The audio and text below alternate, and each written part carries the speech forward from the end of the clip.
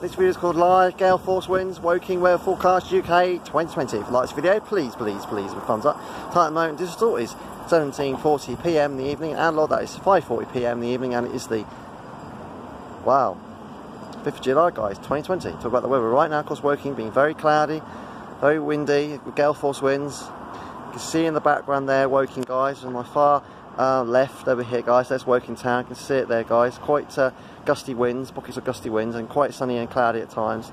But it will be um, very hit and miss and it will be very cloudy at times guys.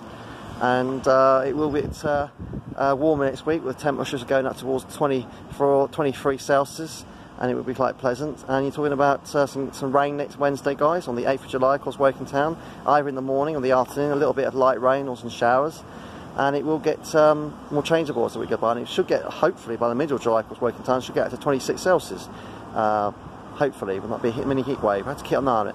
So if you like this video of me outside Woking town please give me a thumbs up. Please subscribe to my YouTube channel. Please enjoy this video of me outside Woking town right now because it's windy and cloudy. Thanks for watching. Please give me a thumbs up to my usual? Either everyone